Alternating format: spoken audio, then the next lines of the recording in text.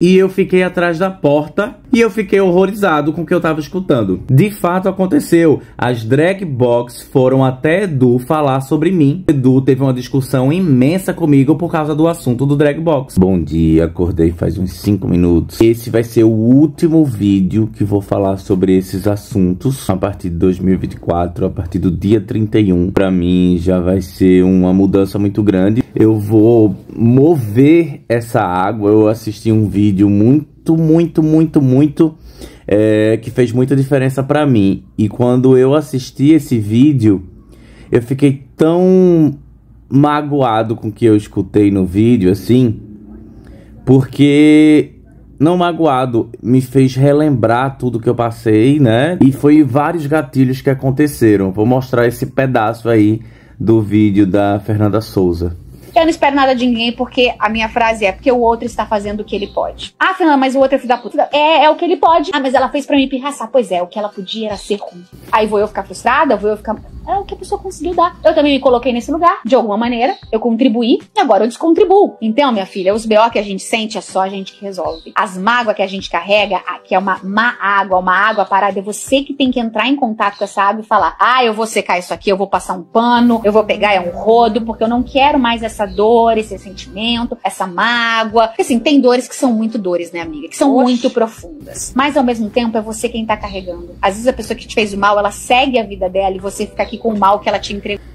Antes que eu esqueça, eu queria falar que eu tentei fazer até conteúdo de react do Corrida das Blogueiras na época, só que Edu não gosta de ouvir crítica ao trabalho, é só elogio. Quando a gente critica, porque o meu papel de artista, o meu papel de conhecedor das áreas artísticas me faz querer comentar, não elogiar, que eu não vivo de, de babação, né? Então eu comentei e eu percebi que não agradei algumas pessoas, então eu tive que parar de postar. Eu vou julgar sendo muito justo nesse julgamento, isso tudo dentro do brief. Criatividade, acabamento e funcionalidade. Os três estão salvos. A gente se vê na semana que vem. Podem fofocar lá no.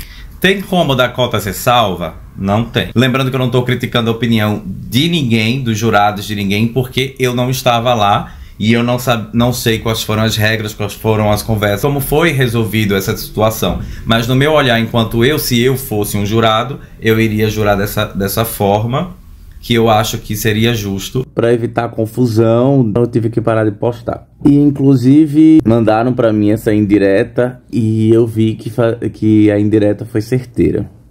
Ainda mais vindo de quem veio. Gente, eu tentando gravar story aqui a host engatilhando os convidados. É, eu não venho mais aqui que eu tô engatilhada. É, coitada. Ah, com a gente. Vieram tomar um café. Não concordou? Faz um reality e julga você. Ah! Acha, vovó? Quando Lidiane ganhou o Corrida das Blogueiras, o casal Drag Box entrou em contato com ela. A gente morava aqui em Recife e eles moravam lá na Paraíba. Entraram em contato para ela fazer uma live com eles.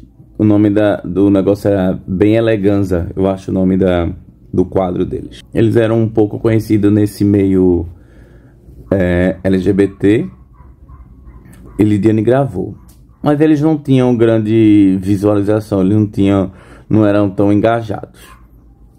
A Lidiane gravou com eles. Por quê? Eles pediram para gravar com a Lidiane? Porque eles não eram engajados, eles não tinham esse público é, exatamente do Corrida das Blogueiras.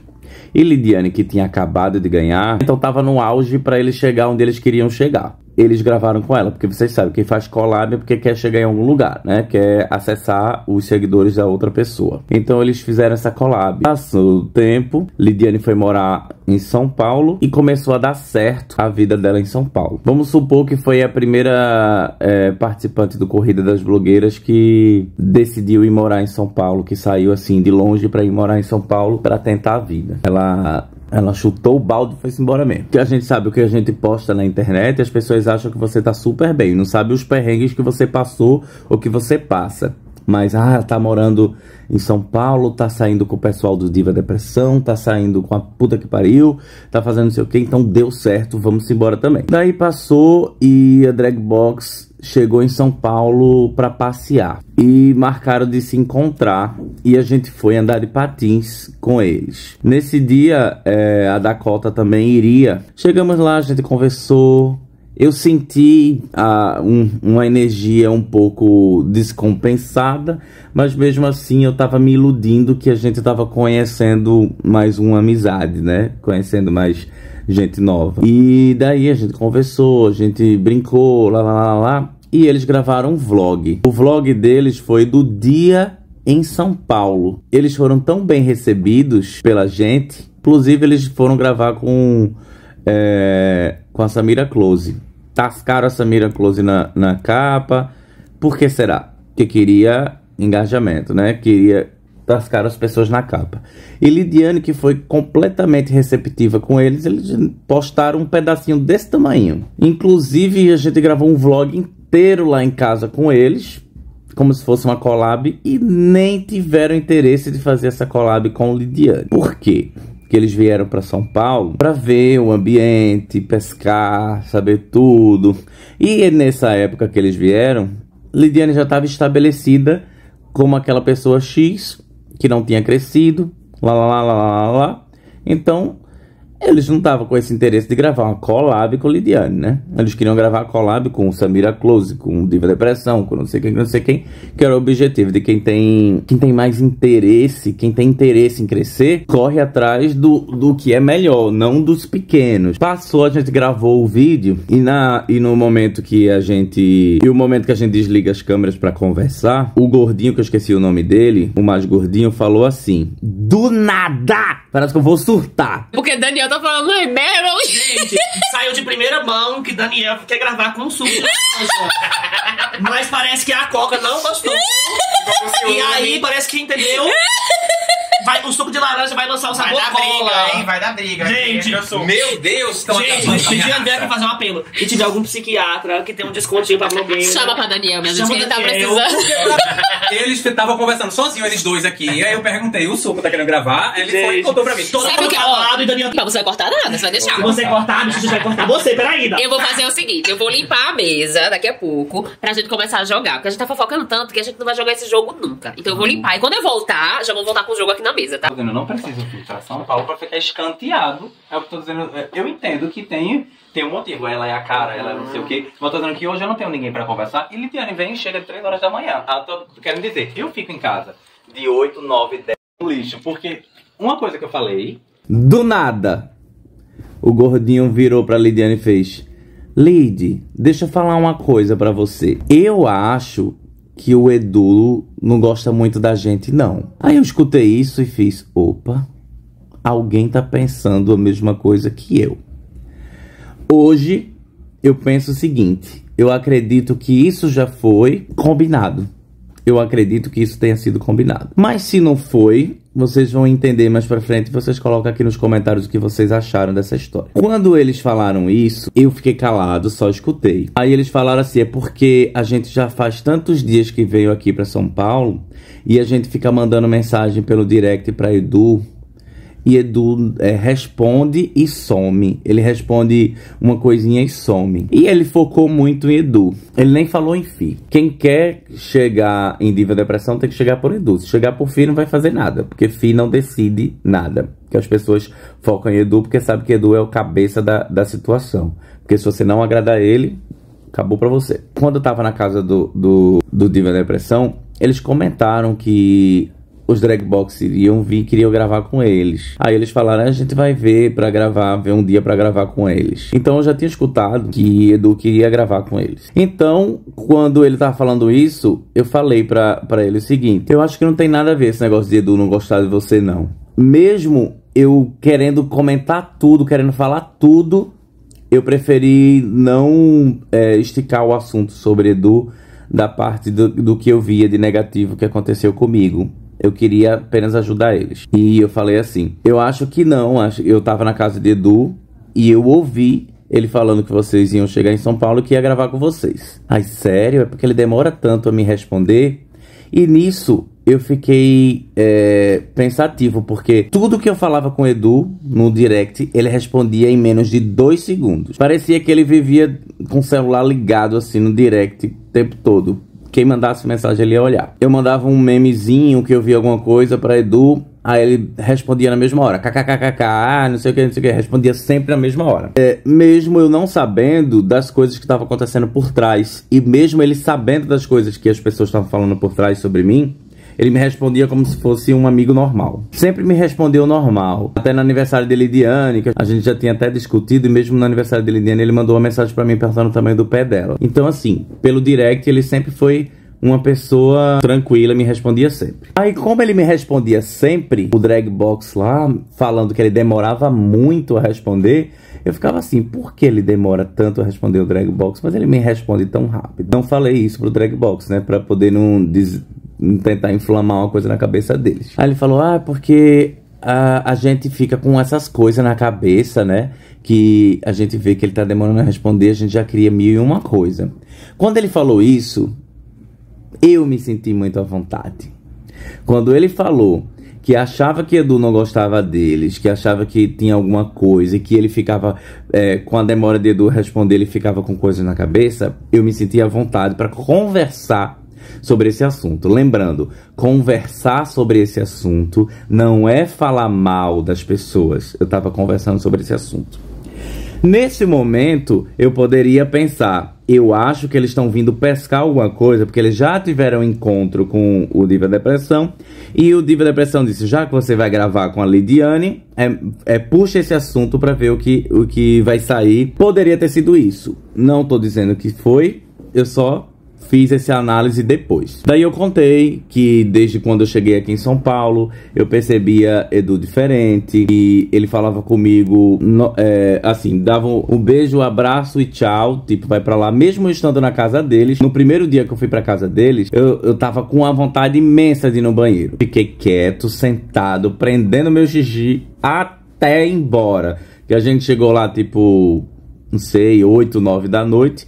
E a gente foi embora mais ou menos uma hora da manhã. E eu não fui no banheiro com vergonha, porque eu tava lá comportadinho, não tava fazendo nada, não queria dar trabalho nada. Então eu falei que eu achava isso, que eu achava estranho, que a forma como ele me tratava. No direct ele me respondia muito rápido, no direct ele falava, falava. E pessoalmente ele fingia que eu não existia. Não ele fingia que eu não existia, ele educadamente me cumprimentava e virava para lá. Eu vou botar um trecho até porque já tinha rolado várias águas, né? Vários assuntos desses já tinha rolado, então ele simplesmente não queria dar esse abraço, não queria esse contato. Em algum momento ia virar uma treta comigo e Lidiane, porque Lidiane era amiga dele. Lidiane matava e morria por ele. Mata e morre por ele. Aí passou. Conversei com o Dragbox e assim que eu soltei o assunto, o magrinho pegou o celular e disse: Não, você é louco. Tira o Edu da boca. Nossa, você tá apaixonado por Edu. Nossa, Daniel, você é apaixonado por Edu. Aí eu fiquei tipo, porque ele tá tão falando que eu tô apaixonado por Edu. É, a primeira coisa que eles falaram lá foi de Edu. Eles não falaram sobre Fi. Como eu falei para vocês, Edu é a peça-chave daquele, daquele local. Qualquer lugar, qualquer coisa, se você tiver uma treta com Edu, você teve a treta com a bolha toda. Você teve uma treta gigante. Porque se você é amigo de alguém que teve uma treta com o Edu, que dificilmente você vai estar naquele grupinho, dificilmente você vai ser chamado para estar naquele grupinho para alguma coisa. Se você é amigo de Ismael, eu, eu acredito que se você é amigo de Ismael, você jamais vai estar num grupinho ali perto de Edu. Se você segue Maíra, se você, se você é amigo de Maíra, é alguma coisa, dificilmente, quase impossível, você vai estar naquele, naquele grupinho. O Magrinho pegou o celular e mandou um direct para Edu imediatamente. Eu olhei pra cara do gordinho e fiz assim: faz alguma coisa. Eu tava tão constrangido, mas ao mesmo tempo tava tentando levar na brincadeira. Eu olhei pro gordinho e fiz assim: faz alguma coisa. Ele tá mandando mensagem pra Edu. Aí o gordinho fez assim. o que é isso? O que é isso? O cara veio pra cá pra, pra conversar. Ele começou um desabafo falando que achava que Edu não gostava dele. Ele falou que Edu não respondia o direct dele, que ele já estava indo embora de São Paulo e Edu não tinha falado nada. Quando eu falei sobre mim, ele correu pro WhatsApp pra sei lá o que, se era direct se era WhatsApp, pra falar Edu que eu tava falando de Edu e que eu estava alucinado, eu estava apaixonado por Edu, que eu tava fazendo muita questão por Edu. Então, assim, se fosse verdade que ele não tinha contato com Edu, se fosse verdade que ele não tinha é, não tinha resposta rápida de Edu, o que é que ia acontecer? Edu ia querer saber dessa conversa. Edu ia querer saber exatamente o que eu falei. Então ia chamar eles muito mais rápido. Vem meninos, vem menino para contar o que é esse negócio que estão falando de mim por aí. Então foi isso que passou na minha cabeça. Eu não tô dizendo que, que, eu, que isso eu achei que aconteceu, não. De fato aconteceu. As drag box foram até Edu falar sobre mim e através disso, o Edu teve uma discussão imensa comigo por causa do assunto do drag box. Então a drag box causou essa situação, depois foram embora. Antes de eles irem embora, eles levaram Lidiane, Lidiane foi com eles até o, o, o elevador e eu fiquei atrás da porta e eu fiquei horrorizado com o que eu tava escutando. Eu escutei, amiga, você precisa de ajuda. Amiga, ele é tóxico, ele é invejoso. Eles falaram tanta coisa que eu achei que eles eram formados em psicologia, em psicoterapia, em psiquiatria, porque eles fizeram análise tão rápida sobre mim que, que queria eu, queria a humanidade que eles fossem psiquiatras, eles fossem psicólogos, porque eles conseguem dar, dar o laudo em uma hora.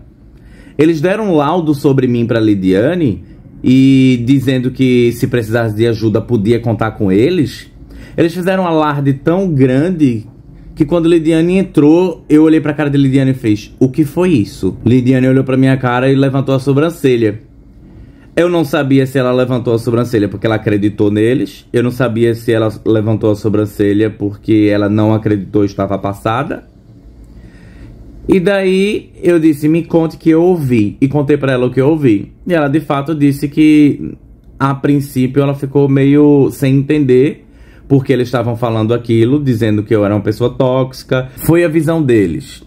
Eu fiz algum alarde? Eu fui pra internet falar mal deles? Eu tava querendo engajamento? Não fiz nada, apenas aceitei. Aceitei calado. Mas aí passou 3, 4 dias e o besta do Daniel continuava no direct falando com eles. Lá, lá, lá, lelele, ai que legal isso daí. E percebi que não era um recíproco mais. Depois disso, eles deram uma, um, uma parada. E Edu reclamou com Lidiane, ligou para Lidiane fez uma reclamação. Lidiane tremia, Lidiane tremia, Lidiane chorou, Lidiane ficou desesperada. Lidiane chegou para mim, me deu um show, disse: Daniel, por que você tá fazendo isso comigo? Eu levei uma reclamação. Edu chamou Lidiane para ir na casa dele, falou para mim um desabafo. O jeito que ela falou para mim foi quase assim: vai embora da minha vida. Isso logo no, no primeiro ano que a gente chegou em São Paulo. Lidiane falou para mim coisas do tipo assim: eu me senti a mãe de um aluno que é chamado na escola para professora reclamar. Ela disse que escutou tanta coisa de Edu que ela teve tanta vergonha de mim pelas coisas que ela tinha escutado. Se Edu me responde no direct tão rápido, por que Edu não conversou comigo? Edu não conversou comigo. Edu foi fazer a cabeça de Lidiane. Então, eu fui lá e mandei uma mensagem para Edu. Humilhado, mandei uma mensagem humilhado. Por que eu abri a boca para falar do rei Eduardo?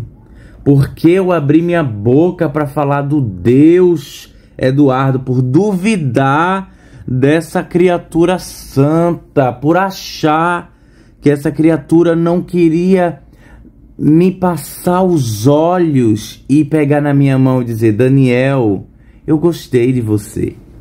Por que eu apenas não sorri e agradeci a Deus por ter entrado na casa dele?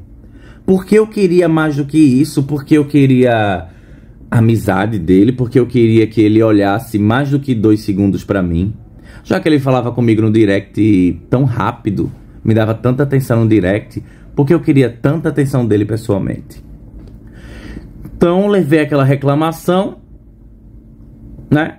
A criança levou uma reclamação, então a criança foi lá mandar uma mensagem para o Eduardo para tentar resolver. Depois de ter falado com o Eduardo, depois de ter passado 300 laudas de texto que eu estava levando, eu fui até o direct do, do Drag Box e coloquei lá que estava tudo bem.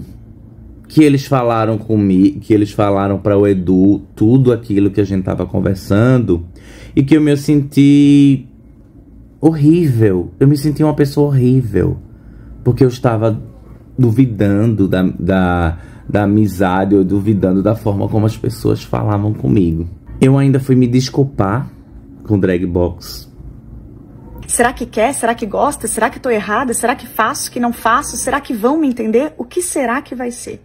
Se preciso pisar em ovos, omitir a minha opinião, me justificar o tempo todo, pedir desculpas sem ser ouvida, ter medo de como vão reagir, não puder expressar o que eu sinto genuinamente, sentir que não sou bem-vinda, insistir, estar sempre errada, não puder ser quem sou e ter que ter cautela em cada vírgula que eu falar, não há dúvidas. Fujam de autores que criam personagem de você. Fujam de investigadores que querem coletar informações. A partir daí, Dragbox deixou de falar comigo. Vale lembrar que eles não moravam aqui e que Lidiane na conversa ficava insistindo para eles virem morar em São Paulo e dizendo assim para eles: "Amigos, vocês vão bombar aqui em São Paulo, venham morar aqui". E eles diziam que não. Não, a gente não vai deixar a família da gente, a gente gosta muito de lá. A gente não tem coragem de abandonar tudo lá e vir para cá. E Lidiane, venham que vai valer a pena para vocês. Se vocês precisarem, vocês podem ficar aqui em casa. Disse, ai que bom, Lid, que você nos dá essa, é, tá nos dando essa força. E daí eles foram embora, tal, mas vale lembrar que a gente passou a tarde conversando e eu mostrei para eles todos os trabalhos que eu fazia eu comecei a mostrar para eles como era o canal Big Space, como foi que cresceu. Na realidade, como eu já tinha é, passado aquela situação que eu já achava que as pessoas diziam que eu já, já era por aí a história que as pessoas comentavam no canal, uns fakes comentavam no canal que eu era invejoso, que eu queria aparecer demais, que eu tinha inveja de Lidiane, que eu era tóxico. Lembrando que os comentários que faziam isso eram um monte de comentário fake. E que pessoas, bocas miúdas, falaram para mim que algumas pessoas desse ramo pagavam superchat para ficar mandando mensagens fakes. Então, como eu já sabia dessa dessa informação de que pessoas mandavam mensagens fakes, quando eu via todos os fakes falando que eu era invejoso, que eu era tóxico, que eu era não sei o que, porque Lidiane, quando ela lê os comentários, ela fica é, paranoica. Ela, as pessoas só querem, só querem ver elogio. Quando você vê comentário ruim, se apavora. Ela estava apavorada com o que as pessoas estavam falando, porque é sobre a vida dela e talvez isso possa prejudicá-la. Ela via as pessoas falando mal de mim e via aquele, o tempo todo: Daniel é invejoso, Daniel é tóxico, Daniel é controlador, Daniel não presta, Daniel só quer aparecer, Daniel isso, Daniel aquilo. Então, os fakes estavam lá fazendo o trabalhinho deles. Então, quando o, o Dragbox chegou lá, eu senti a necessidade de mostrar o meu valor, de mostrar para eles o meu trabalho, de mostrar para eles como tudo começou. Para que eles, que já vão ter esse contato com, com o Edu, com seja lá quem for, já chegasse assim em algum momento que surgisse uma história e dizer: Não, Daniel já faz isso há muito tempo. Daniel já tem canal no YouTube há muito tempo. Daniel já trabalha nessa área há muito tempo. Então eu achava que eu falando, levando o meu evangelho para as pessoas, as pessoas iam espalhar as partes boas sobre mim. Eu mostrei para eles que eu fazia peça teatro, que eu fazia é, quadros humorísticos, por exemplo, Lidiane fez personagem, a gente é, tinha lá no teatro, a gente fez um, um show do milhão, que era o que eu queria que Lidiane fizesse no canal dela, o show do milhão, pra gente fazer no teatro. Lidiane nunca quis fazer disse que não que lá em São Paulo ninguém gostava desse tipo de coisa. E eu dizia, vamos fazer que vai dar super certo. Aí eu dizia para Lidiane, vamos fazer torta na cara, vai dar super certo. E Lidiane, não, isso, isso aqui é palhaçada. Eu não quero fazer palhaçada. Ela tá certa. Por exemplo, Adam. Adam deixou de fazer as palhaçadas que eles faziam junto com blogueirinha. Depois que blogueirinha foi embora, e ele focou no conteúdo que era maquiagem, ele se tornou, vamos dizer, um expert na maquiagem ali e deslanchou como maquiador, como influencer da, da área de maquiagem. Então Lidiane estava certa nisso também. Mostrei para Dragbox esse vídeo. Pode soltar. Pode soltar. Vai começar o show milhão.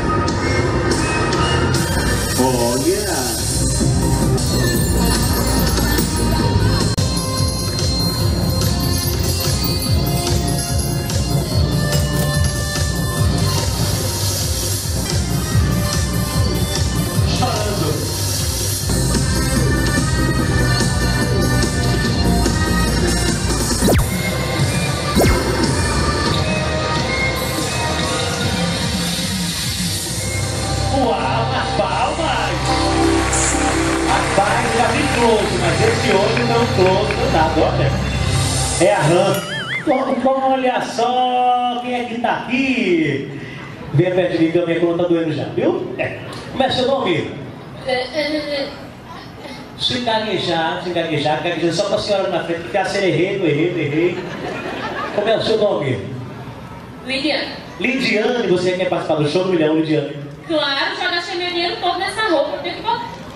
Não pode. Levanta o cofre, isso é ouro legítimo. É, ouro. Vai começar um show do milhão. Produção, solta a pergunta.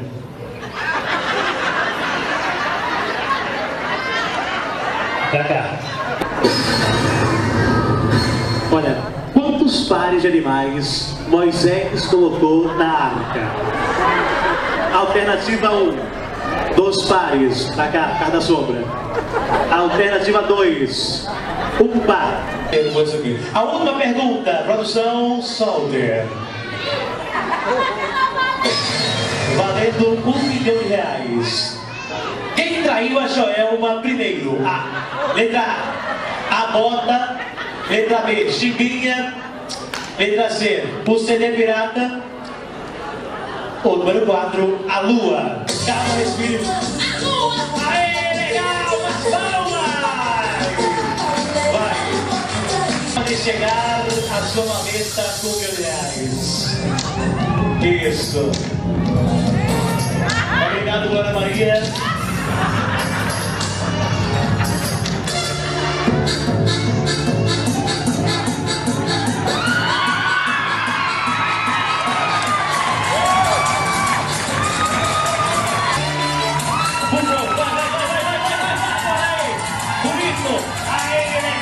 Como vocês podem perceber, é um quadro humorístico, tinha interação com o público. Então mostrei pra eles tudo que, que eu já fazia, o que eu queria fazer ali em São Paulo.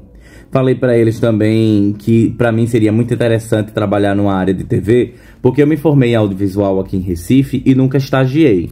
Sem estágio, você nunca vai trabalhar no lugar, porque você não tem experiência. Mas por que eu não estagiei? Porque eu já fazia pedagogia e no, no sábado, no, em 15, 15 dias, eu fazia pós-graduação.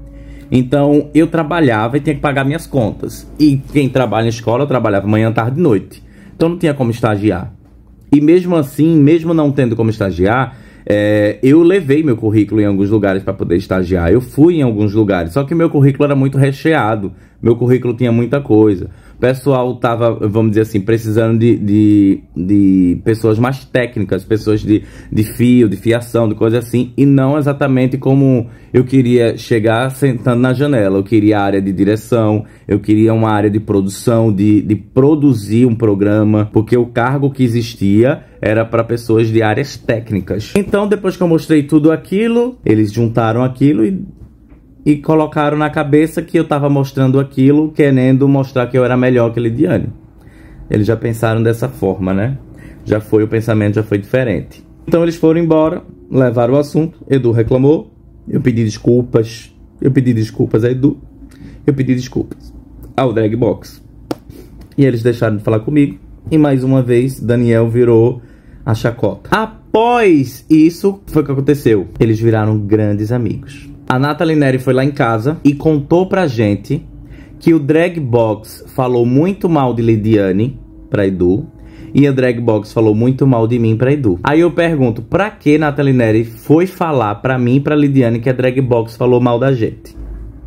Será que a Nathalie Neri queria ajudar a gente? Nathalie Neri levou isso para que Lidiane tivesse uma treta com Drag Box. Acredito eu, porque já sabia que Drag Box virou grandes amigos do Edu e do Fi. E se Lidiane brigar com Drag Box, Lidiane ia ficar sozinha. E foi exatamente o que aconteceu. Lidiane não brigou com Drag Box, porque Lidiane gostava deles. Lidiane apenas foi excluída. Edu deixou de falar com Lidiane. Edu se afastou de Lidiane. Vocês que acompanharam muito tempo perceberam que Dragbox gravava no canal de, de Diva Depressão várias vezes. Lidiane nunca gravou. Lidiane gravou é, a collab só. Depois gravou. Eles gravaram dando umas roupas lá pra, pra, pra elas. Eu não tenho certeza se foi eles que gravaram ou se foi Lidiane que gravou. Mais um momento, uma manipulação para prejudicar a gente. Daí as coisas ficaram piores, né? Tipo assim, se Daniel estiver no local, Edu não vai estar no local. Então a pergunta que responde para vocês: por que Edu e Fi não iriam para as festas que eram feitas na casa de Lidiane? Porque as festas que eram feitas na casa de Lidiane era produzida e organizada por Daniel Queiroz. Daniel Queiroz não pode ser validado como um artista nem validado como um algo bom. Daniel Queiroz é um oportunista invejoso que está tentando ganhar seguidores de Lidiane. Aí eu pergunto, o que foi que eu produzi para mim na internet durante essa minha estadia em São Paulo? Eu produzi conteúdo para eu me engajar. Eu chamei alguém para gravar comigo em São Paulo para produzir conteúdo para me engajar.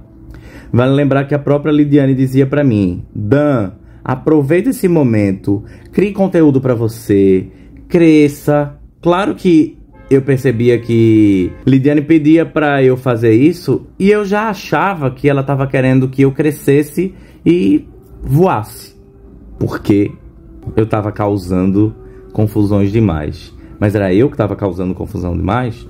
Teve o vídeo da collab, como vocês sabem, que foi o, o vlog lá no do piquenique. Quem assistiu, viu. Edu, quando se refere a mim, dá uma patada. Depois, quando chega lá, lá em casa, no final da noite, ignora, tenta puxar assunto. Ignora completamente. Parece uma pedra dentro da casa, é, me ignorando. Depois que eu assisti o vídeo que falava sobre você é, pegar essa mágoa que você sentia e você arrastava a mágoa e deixava a mágoa para lá, jogava essa água suja para lá. Eu tive um, um, eu tive um gatilho muito forte, aí eu fui no Instagram e digitei que dois nordestinos, eu vou resgatar essa história e vou botar aí para vocês para vocês verem, mas era alguma coisa relacionada que dois nordestinos fizeram uma merda comigo e foi justamente sobre Dragbox.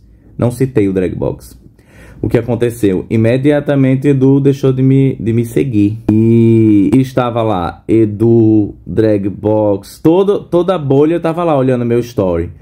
E sabe o que é interessante? Porque a gente sabe que as pessoas usam fakes para poder a, acessar os stories, né? Para as pessoas não saberem que eles estavam vendo a história.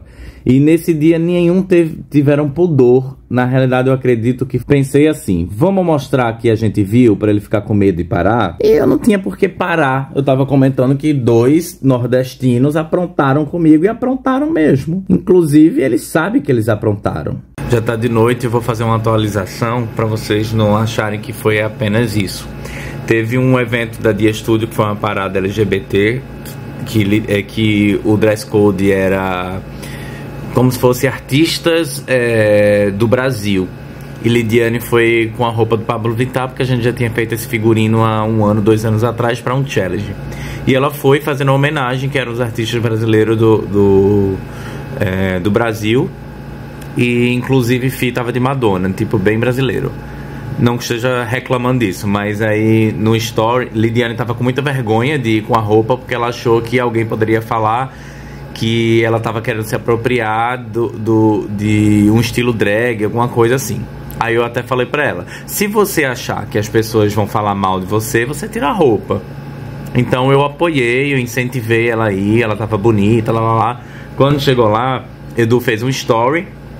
E no story Edu faz assim: Olha só a palhaça da Lidiane como ela tá vestida. Na hora que eu vi a história, eu fiz assim: eita, ela vai ficar constrangida e vai tirar essa roupa. E foi o que deu pra perceber. É, é o jeito de, de Edu brincar. Só que ela já tava como se fosse assim, sem o lugar de fala, porque ela não é drag. Ela tava ali naquele meio. E ela tava com a roupa de Pablo Vittar, então ela já com, é, com certeza já ia se sentir incomodada. Então, é, O Dragbox tinha, tinha compartilhado uns stories, mas não compartilhou exatamente isso, porque Edu tinha marcado eles também, ela e ele. Aí eu vi nos stories de Dragbox também. Aí eu fui e mandei uma mensagem pro Dragbox falando assim: ainda bem que vocês não compartilharam é, esse, esse story de Edu, porque com certeza a Lidiane vai tirar a roupa, porque ela ficou muito constrangida. Dá pra ver no vídeo que ela ficou com vergonha. Aí eu disse, nossa, Edu, é, Edu sabe o, o, poder que ele tem no meio desse público e ele falar que ela tá com essa roupa como se fosse uma palhaça pode gerar mais um, uma coisa negativa para ela, que ela tá tentando se apropriar. Quando eu enviei isso, veio uma luz na minha cabeça e fez assim, por quê? Quem é Dragbox para você estar tá mandando essa mensagem para eles? Porque ainda não tinha vindo a treta. A treta sobre Dragbox ainda não tinha chegado pra, até mim. Quando eu falei isso, eu apaguei. Dentro de um minuto, dois minutos, eu apaguei. E o que foi que aconteceu? Dragbox contou para Edu, mesmo eu tendo apagado a conversa. Qual foi a intenção de Dragbox contar para Edu? Me ajudar? Ajudar a Lidiane? É o que eu tô querendo dizer para vocês. Quando fica, ah, tentando ajudar, tentando ajudar o meu ovo. E eles ficaram com medo que eu falasse alguma coisa na época, porque eles estavam entrando agora e uma polêmica negativa para eles, eles podiam perder alguma coisa. Nem falei. Tanto que é tão interessante que quando o Ismael quer meter o cacete nessas pessoas, ele mete o cacete antes de começar o programa do Corrida das Blogueiras. Por quê? que ele sabe que isso pode acarretar em alguma perda financeira, pode acarretar em um problema com a marca. Eu tô comentando agora no final do ano. Pra que eu tô comentando no final do ano? Porque eu quero que eles percam alguma coisa? Final do ano, ó, virou o ano, virou a vida. Não quero comentar mais sobre isso no, nos próximos anos. Então eu não tô querendo, eu não tô comentando aqui porque eu quero destruir a imagem de alguém ou que eu quero fazer alguma coisa. Não, eu tô desabafando porque eu prometi para mim que a partir do ano que vem eu vou viver minha vida, vou correr atrás da minha vida, trabalhar bem muito, entendeu? Porque lá diziam que eu era preguiçoso, que eu era não sei o que, eu era preguiçoso uma merda. Ainda teve gente dizendo assim, Daniel, você tá muito surtado. Eu não tô muito surtado não, eu tô desabafando esse assunto com vocês aqui e nunca mais eu vou tocar nesse assunto. Eu tô deixando essa mágoa aqui nesse vídeo, nem eu vou assistir esse vídeo depois. Depois que eu falar isso aqui, eu só quero ler os comentários, ver a, a posição de vocês. Ah, Daniel precisa de, de fazer terapia. Eu preciso de terapia. Quem falou mal de mim precisa três vezes mais. Porque um defeito de caráter não se cura só assim, não. Só de, ai, não, as pessoas falaram mal de mim. Não, a pessoa tem um defeito no caráter possivelmente ela nem muda. Eu preciso de terapia para desabafar para alguma coisa? Eu não quero nem saber mais desse assunto ano que vem. Começa a me estressar quando vem para esses assuntos, porque eu vejo quanto eu fui idiota, um bobo da corte, que ficava sendo feito uma bolinha no meio da situação, tentando acessar alguém e as pessoas empurrando. Essa história de, ah, Daniel ficava na festa pedindo emprego. Quando foi que eu disse pra vocês que eu fiquei na festa pedindo emprego? Para vocês terem ideia, eu tô falando que eu falei uma vez com o Nathalie, que ficou segurando a minha mão, pedindo que eu falasse tudo, que eu falasse lá, lá, lá. Falei com uma pessoa que tava querendo me ouvir, que tava querendo que eu falasse. Fujam de autores que criam personagem de você. Fujam de investigadores que querem coletar informações. Imagine que eu tô calado dentro do lugar sem acesso a ninguém, uma pessoa pedindo que eu falasse. Falei para ela. Outra pessoa que eu falei foi o Léo, que é, que é o, o acho que é o sócio lá do Rafa Dias da Dias Tudo, conversei com ele sobre isso. Porque na festa ele estava falando justamente sobre isso. Ele chegou para mim, me olhou como se fosse uma criança, fez: Que roupinha legal! É a Lidiane que lhe produz, é? Aí eu fiz: Não. Isso é uma roupa normal minha. Aí ele: Ah, legal, você gosta de produzir roupa, né? Aí eu fiz: Gosto. Aí ele. Aí eu fiz. Aí, inclusive, eu trabalho fazendo isso, isso, aquilo. A gente foi falando do trabalho. E ele disse: Ah, que legal, gostei de saber que você era de produção audiovisual. Então ele tava trocando o assunto comigo e a gente trocando as figurinhas sobre o trabalho. Que ele tivesse interessado em saber o que eu fazia, eu deixava de, saber, de, de fazer, talvez ele nem tivesse. Ele tava num papo tão gostoso com o Lidiane lá no cantinho que pra que ele quer saber da minha vida? Ele tava lá elogiando, dizendo que Lidiane era incrível, que Lidiane era uma comunicadora perfeita. Que isso a gente sabe. Isso eu sei. Eu, eu sei que eu acompanhei, né? Junto com ela, eu vi que ela não sabia, eu sei todas as coisas. Eu corri atrás, pedia para ela fazer o curso de jornalismo, de publicidade. Inclusive, quando ela ganhou a Corrida das Blogueiras, ela falou num programa, quando o Edu perguntou o que é que você vai fazer com o dinheiro do, do programa. Ela falou que ia fazer um curso de jornalismo, ela falou que ia fazer porque eu ficava com a influência na cabeça dela para poder ela não ficar sendo uma influenciadora que consegue os seguidores e acha que a vida tá ganha e vai só assim. Disse, não, invista em, em conhecimento, invista em, é, em educação, corra atrás para você acessar os lugares. A gente sabe que jornalista hoje não precisa nem de faculdade, mas eu queria que ela tivesse uma base educacional.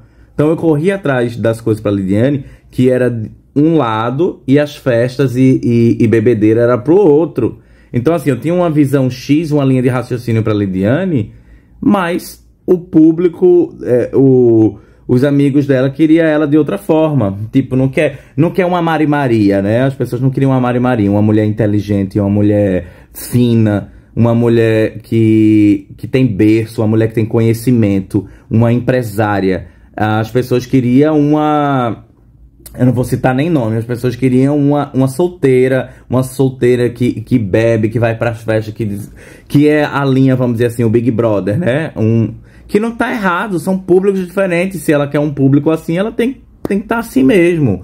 Só foi um. uns, é, porque assim, ela, é, quando eu conversava com a Lidiane sobre essa linha editorial dela, é, eu fazia o que eu achava que era para encaminhar ela dessa maneira. Mas se ela dissesse, não, eu não quero isso, que várias vezes eu cheguei em São Paulo disse assim, quando ela ganhou a premiação, disse, Lid, vamos contratar um assessor de imprensa e vamos ver o que é que ele vai fazer com a sua história, o que é que vai fazer. A pessoa cobrou 600 reais. 600 reais. Elidiane fez, não, não quero gastar com isso não. Elidiane, vamos investir, vamos investir em alguma coisa, vamos ver como vo- você pega esse dinheiro para investir em alguma coisa que dá esse retorno pra gente, para poder a gente não ficar dependendo de uma publi no mês, não sei o quê. E ela sempre prendeu o dinheiro, o dinheiro sempre foi na conta dela. Então ela prendia muito e eu não tinha muito acesso é, nessas coisas. E eu não queria também ficar falando sobre dinheiro para não parecer que eu tô querendo, é, que eu tô com interesse no dinheiro dela. Lembrando, minha gente, Lidiane foi uma vítima. Lidiane foi tão vítima quanto eu. Só que ela, com medo de voltar para a vida dela, com medo de voltar, tipo assim, nossa, eu vou voltar para uma vida que, querendo ou não, vou ter que ser sustentada por Daniel. Ela não ia voltar. Ela não ia voltar nunca, porque ela tá com marcas parceiras. A- a- as marcas parceiras dela são um amor de pessoa. Lidiane é muito séria no- nos conteúdos dela. Lidiane, ela. Lidiane é uma profissional de verdade. Só que nesse meio, você tem que fazer escolhas. Vocês podem ver que os artistas, boa parte dos artistas, eles se separam e ficam com várias pessoas, não sei o quê, porque é uma vida sofrida. Nem todo mundo aguenta a vida do, do outro artista. Às vezes você vê que a pessoa precisa pisar na cabeça de alguém para chegar num lugar. Nem sempre você vai concordar com aquilo. Então, assim, eu era muito coração, eu era muito honesto, eu era muito não sei o quê. Então, na- na- nesse meio não rola, não. Tô dizendo que ela é desonesta, não. Tô dizendo que ela fez uma escolha. E ela não, e não tem problema ela ter feito essa escolha, não. O único problema é que as pessoas estavam tentando me apagar, as pessoas estavam é, tentando me anular, anular o meu trabalho, falar que eu era invejoso, falar que eu era problemático, falar que eu era não sei o quê, e fazendo pressões psicológicas para ela. Eu não vou falar coisas aqui, e a partir de hoje eu não vou falar mesmo, porque eu recebi ameaça. Ameaça do tipo assim: se você continuar falando sobre esse assunto, você vai levar ela pro fundo do poço. Então eu tinha que ficar calado. para não levar ela pro fundo do poço. Então, assim, eu tinha até prometido para ela que eu nunca ia tocar nesses assuntos, para não prejudicar ela. Mas por que até depois do término do relacionamento eu teria que ter essa devoção? Devoção para uma pessoa que não me deu um feliz Natal. Ela me deve um feliz Natal? Não. Eu mandaria um feliz Natal para ela? Não. Por que eu não mandaria um feliz Natal para ela? Porque ela me tirou da vida dela, ela se afastou de mim, ela não fala comigo no WhatsApp, ela não fala comigo no direct. Por que eu vou procurar a Lidiane para dar um Feliz Natal? A pessoa não quer conviver com outro, acabou. Como disseram no comentário, ex não é parente. Acabou, acabou, não tenho um filho com ela. Tenho nada em comum com ela. Então, se esse tempo todo que a gente viveu, ela não teve um momento de dizer assim, eu vou dar um feliz Natal para ele, porque eu achei que ela ainda era minha melhor amiga, independente de a gente ter um relacionamento ou não. Não é, acabou. Acabou, acabou, assim, entendeu? Tá tudo tranquilo. E a vida vai seguindo. E, mais uma vez, eu não quero, vocês não devem tomar partido. Não é pra vir aqui no comentário dizer, ah, não sei quem não presta, ah, não sei o que. Eu tô contando para vocês a história, tô desabafando. E eu não desejo nada, nada de ruim para ela. Eu não tenho, como eu falei para vocês, ela foi uma vítima. Ela foi uma das vítimas. Eu tive que sair para poder ela continuar andando.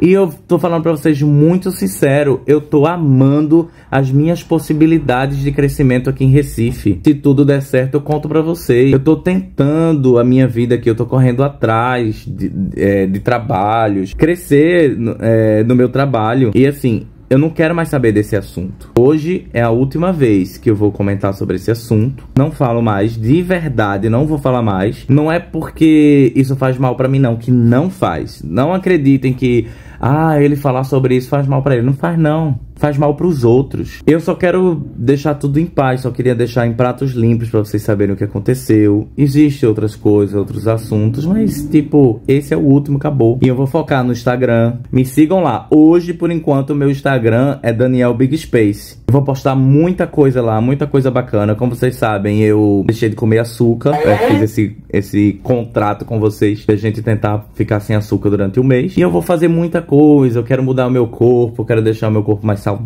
Vou procurar também terapia, vou trazer para vocês muitos assuntos sobre isso, que é muito importante. Até sobre como você se comportar em alguns ambientes. Por exemplo, se você tá num ambiente cheio de influencer, não corra com o seu celular para tirar uma selfie com eles, eles não gostam. Tem muita coisa que eu posso conversar com vocês sobre isso. Ah, encontrou um influencer na balada? Não ache ele fofo e vai lá tirar uma foto com eles, porque eles não gostam. Queria deixar um abraço para todo mundo de São Paulo.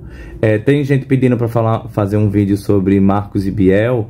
Não vou fazer um vídeo sobre Marcos e Biel. Marcos é um profissional dentista. Marcos é, começou, é, quando começou o casamento com o Biel, morar junto com o Biel, ele morava junto naquela mansão das POCs e eles viviam juntos lá. Só que Marcos é dentista, Marcos é um, um, um homem inteligente, é uma pessoa madura. Então ele trabalha no rolê dele lá, ele não tá envolvido nessas tretas, nessas coisas, não. Ele tá vendo a vida dele. Biel é uma criança, Biel é um adolescente, Biel é jovem demais. Biel entrou na internet muito cedo e já entrou na mansão das POCs, que era só esse oba-oba nesse começo, e ele continuou na internet, ele passou por muita coisa ruim também, Biel já passou por muita coisa. Então Biel ainda tá nesse grupinho, nessas coisinhas assim. Então, não tenho por que falar. Biel foi uma pessoa excelente. Biel, é, hoje a gente não tem, não tem vínculo nenhum. Eu não falo com o Biel, Biel não fala comigo. A gente não brigou. Mas porque a gente não tem assunto em comum. Não esperem que eu venha aqui falar de Biel. Não esperem que eu venha aqui falar sobre outras pessoas que veio aqui assistir para saber se eu tinha falado delas. Tem outras pessoas, mas eu não vou falar. Tem pessoas e pessoas e pessoas que têm vários assuntos, mas que elas estão aqui, no mínimo, é, assistindo para saber se eu estou falando delas. Não se preocupem. Vocês não vão se decepcionar comigo com essa história de, poxa, eu conversei tanto com o Daniel, tantos assuntos e agora ele vai jogar tudo no ventilador. Não. Não sou essa pessoa. Você pode até pensar que eu sou essa pessoa, você pode estar até chateado porque eu falei de Eli, porque eu falei de Eric, porque eu falei de não sei quem, mas não se preocupe que eu não sou essa pessoa não. Que falaram de mim por aí, acredita quem quer. Eu estou falando sobre mim, sobre o que eu passei, e é sobre isso. Tem algumas coisas, tem coisas que, que eu tenho para falar, mas vai ficar no passado. A partir de agora, vou botar uma pedra imensa. Eu agradeço muito a todos vocês que vieram aqui no canal para assistir, para me dar uma palavra, para me dar opinião, para para trocar assunto comigo. Agradeço muito. Agradeço aos fofoqueiros, aos urubus que contribuíram para o engajamento aqui do canal. Mas a partir de hoje não vai ter mais essa fofoca aqui, tá? E eu conto com os bons para fazer aqui o canal valer a pena, para fazer aqui o meu trabalho como produtor de conteúdo valer a pena. Teve gente mandando direct falando assim: faz um apoia-se, eu vou fazer. Só queria deixar claro que tem muita gente que gostava de mim, algumas pessoas gostavam de mim em São Paulo e que não comentam nas minhas postagens. Não comenta aqui no vídeo, nem comenta lá no Instagram. Porque sabe que se comentar vai ser expulso nos rolês. Você que é de São Paulo, por favor, esqueça da minha existência. Por favor, vão viver a vida de vocês não me acompanhem, deixem que é, as pessoas gostam de mim me acompanhar, porque as pessoas que não gostam não vão vir para ver o que eu sei fazer de bom. As pessoas querem saber da fofoca para poder levar. Vão embora. E eu posso garantir a vocês que eu tô bem, eu tô feliz. E eu queria dizer para vocês que eu fui expulso desse apartamento. O dono do apartamento pediu o apartamento de volta, porque ele vendeu na realidade. E eu acredito que ele já sabia que ele ia vender, porque quando ele fez o contrato comigo, ele sugeriu o contrato de dois meses. Ele falou assim para mim: Olha, vamos fazer um contrato de dois meses, que se a gente fizer de um ano, é, pode ser que você precise sair, você não gosta do local, então a gente vai fazer dois, dois meses. Eu achei estranho, porque quem quer alugar, quer alugar por um ano, e se eu quiser sair, ele vai querer lucrar de todo jeito. É, eu vou me mudar, mas ainda estou sem meus móveis, eu vou ter que comprar tudo de novo. E eu posso dizer, conto com a ajuda de vocês, não para me dar pix, não. é para conto com a ajuda de vocês no Apoia-se. Eu conto com a ajuda de vocês para assistir o vídeo, para assistir o, o, o, os, comercia os comerciais.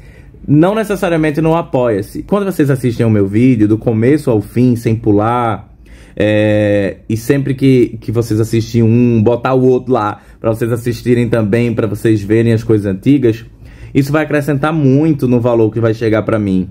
E isso vai, vai contribuir bastante para o meu crescimento como, como profissional. Eu falei do meu podcast que eu queria fazer, mas eu não queria começar um podcast meia boca. Eu queria organizar um cenário bacana, eu queria fazer isso. Mas para investir, a gente tem que ter um retorno. Se o AdSense do YouTube tiver legal, dá para eu investir no podcast, fazer muita coisa bacana com vocês também. Então é isso. Muita luz para vocês nesse final do ano. Não usem o final do ano para se enganar. Coloquem metas na vida de vocês, não sonhos. Vocês sonhem, mas veja desses sonhos aí como realizá-los. Então vocês façam metas, tracem metas e, e corra atrás dessas metas para conquistar. Eu preciso de tal coisa. Vamos dividir dentro de 12 meses o que eu tenho que fazer a cada mês para conquistar aquilo. Será que eu consigo conquistar isso em seis meses? Vamos dividir aquilo que eu tenho para conquistar em seis meses para ver se eu consigo. Não deixe para depois, ninguém vai fazer isso por você, é você que tem que fazer. É você que tem que mover essa água parada. Se é uma mágoa, é uma má água. Então pega essa água, move, arrasta e vamos embora para 2024 ser o ano da vida de vocês, porque 2024 vai ser o ano da minha vida. Um beijo e até ano que vem.